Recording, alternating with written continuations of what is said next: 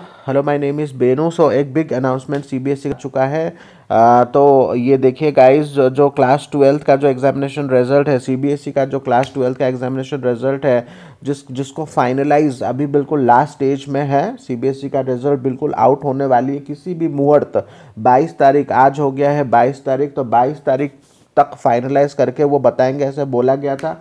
लेकिन 22 तारीख, आज इसका फाइनल एक्सटेंशन किया गया है और इसको 25 तारीख मतलब जुलाई 25 तारीख 5 पीएम तक 5 पीएम मतलब इवनिंग 5 पीएम तक ये एक्सटेंशन हो गया है। तो अभी जो है क्लास ट्वेल्थ रिज़ल्ट में ये परमिटेशन कॉम्बिनेशन कर रहे हैं। जितने भी हमारे सी बी एस ई के स्कूल्स हैं, जो टेंथ स्टैंडर्ड के हैं ट्वेल्थ स्टैंडर्ड के हैं सो इन, इनसे इनपुट लिया जा रहा है। जितने भी मार्क्स हैं, वो लिया जा रहा है। बोर्ड जो है सबको कॉन्टैक्ट कर रही है, सबसे कंटिन्यूस बातचीत चल रही है, और ये एफर्ट अभी चल रहा है। तो सीबीएसई का ये प्रोसेस उन्होंने ईद पे भी काम किया था, जो ईद आपका वेंसडे मतलब कल था तो उसमें कोई छुट्टी नहीं था।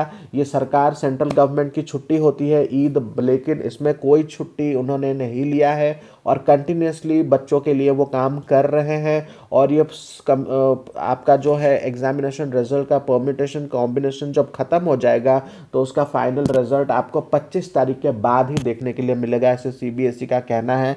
तो this is what is I am I am giving this information from the most renowned and reputed websites so ये ऑलरेडी वहाँ पे पब्लिश हो चुका है कि एक्सटेंड कर दिया गया है। 25 जुलाई तक वो फाइनल डिसीज़न लेंगे और उसके बाद मतलब thirty first is going to be the last guys तो 25 से लेके जो थर्टी फ़र्स्ट तक की जो डेट है तो उसके दौरान कभी भी हो सकता है। तो 25 तारीख शाम के पाँच बजे तक उन्होंने फाइनल एक्सटेंशन मांगा है।